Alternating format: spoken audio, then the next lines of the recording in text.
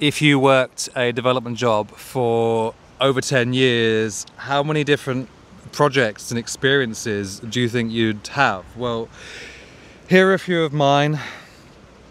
I worked on a comment system for the Guardian newspaper. I built back-end APIs for Facebook games. I built the rendering technology for the BBC News website. I've worked over 10 different jobs and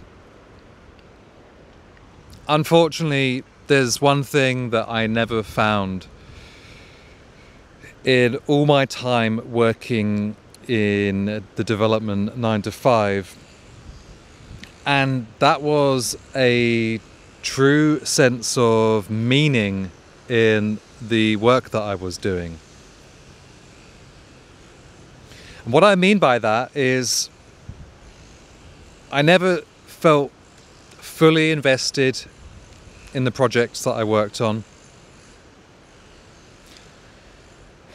I was never 100% committed to seeing those projects succeed.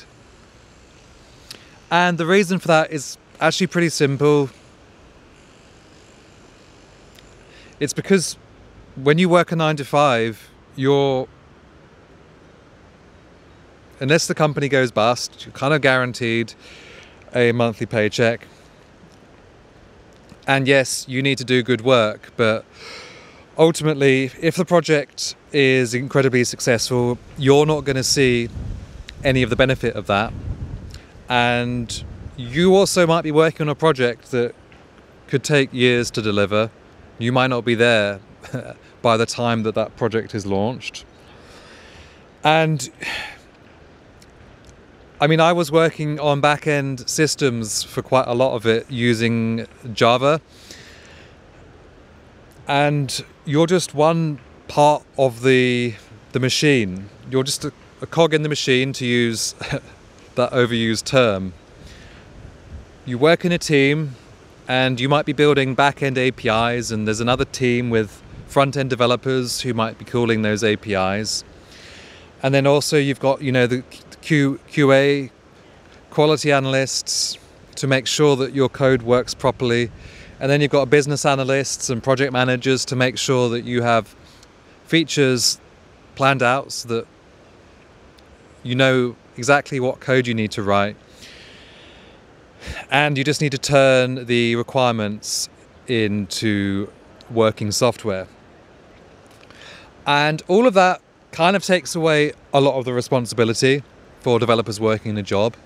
And while that's great because it takes away some of the pressure. It's not all on you. In my experience, it means that you don't have the same sense of meaning that you might get if you were fully responsible for that project. And in this video, I'm going to tell you how I managed to find that in the four years since I quit my job by uh, really building my own projects to find a greater sense of meaning. So, I don't know whether you have had a similar experience to me, but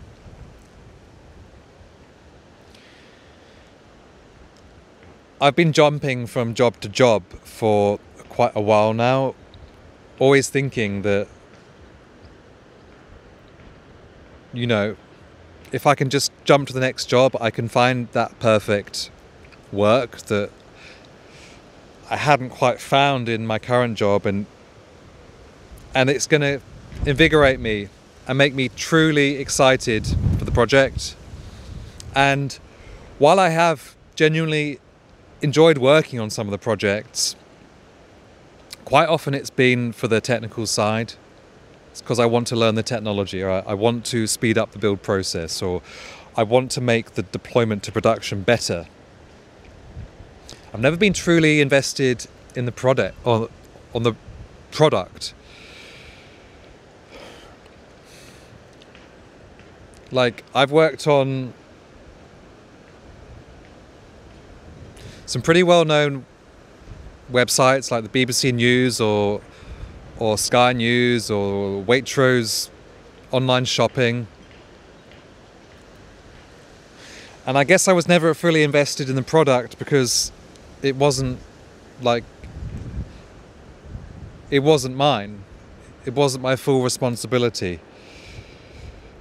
And I've also worked on jobs where like I just found the product boring. Like the last job I worked on was uh, a product which was governance, risk, and compliance software, which yeah, you have to be strategic in a way to make sure you don't pick a job that uh, you know you, you've got no interest at all in the product. But in my experience, even when the product is kind of cool, like maybe a Facebook game is kind of cool to work on, I was never fully invested until I did what I did after I quit my job, which was basically to begin building my own projects. And this has been the best way to find that sense of meaning that I found. And here are some examples of what I've done. Like the first project I created was uh, a course for Java developers to learn about some of the technologies I was working on at the time.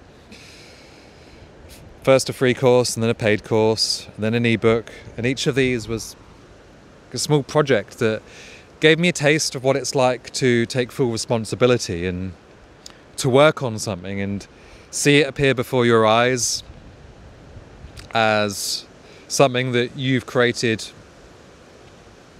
on your own And here's another example that I think you're going to find pretty relatable, which I, I did next, which is basically to build your own software projects, to use the skills that you already have in development, to use those to solve a problem that you want to solve, whether that's something that's frustrating you, something that's frustrating other people, to build software to automate that problem away. Like I built a a tool to do something that I was doing manually, which was comparing YouTube thumbnails side by side. I built a tool to help me do that, and that was incredibly satisfying to build it and now to have the solution that I use quite often. And yeah, you're going to have to get out of your comfort zone and if you're a back-end developer, you might have to learn front-end, and if you're a front-end developer, you might have to learn how to build back-end APIs. You're going to have to learn how to deploy things onto the internet and how to set up domains, how to set up a database, how to. This was one of the struggles I had. How to build a front-end user interface that doesn't look completely terrible and is is kind of usable and uses CSS to use colors in a way that actually looks nice. And when you take full responsibility by starting your own project, you you basically force yourself to learn all these new skills and it's it's incredibly satisfying and you can't get that in a job because a lot of companies they have these really specialized roles that they're recruiting for. Even more specific than back end or front end, it's like a, a NoSQL database specialist, or it's an API, Java API developer, or it's a React platform, React front end developer. Really specialist roles, and you can't, unless you want to hop between roles. You can't just work on all these different things that easily like you can if you start your own projects and are forced to jump in the deep end and learn all these new skills and ultimately take responsibility for whether that project succeeds or fails. And the final example I'm going to give you is this channel right here on YouTube. This is a long term project for me that I started by just publishing one video on a new YouTube channel and doing that again and again and again. Sharing the things that I initially was learning about in my job, then sharing things about the, the software that I was building and the challenges that I was facing. And now sharing videos like this about some of my past experience and um, how how I've managed to uh, change the way I, I, see development. I'm just giving some examples. And uh, if actually YouTube is something you're interested in, then I've got a free course called Dev Creator Kickstart that's going to take you step by step to publishing your first video. But starting a new project is is a great way to get a sense of meaning that you can't find in a job. And don't take any of the examples I've given as as gospel. They're just inspiration to get you started and there are so many different things you could do, but the final thought I'm going to leave you with is if you are like me and you're looking for more meaning in your job, then don't expect it to be handed to you on a plate or to magically appear. And if you've tried a few different jobs and you haven't found it yet, then you've got to ask yourself whether if you keep hopping from job to job, you're ever going to find what you're looking for, or maybe it's time to try something new. And I'm not saying you should do something drastic like quit your job and start something completely new. You can start something on the side, build SaaS on the side, start teaching your skills on the side on a YouTube channel or create a course on Udemy or something like that.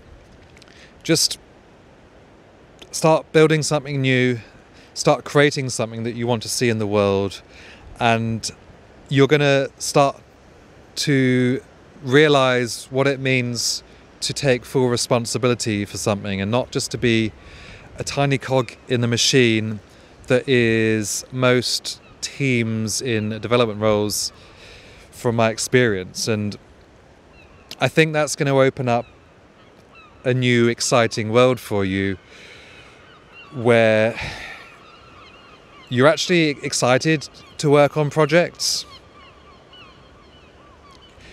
You actually want to see them succeed, and you know that it's down to your actions whether they're going to succeed or fail, and that gives a, a new sense of meaning and purpose to the work you do, and then things become pretty exciting. So thanks a lot for watching. Check out the Dev Creator Kickstart course down below if you want to start a YouTube channel. And I'll see you in the next video.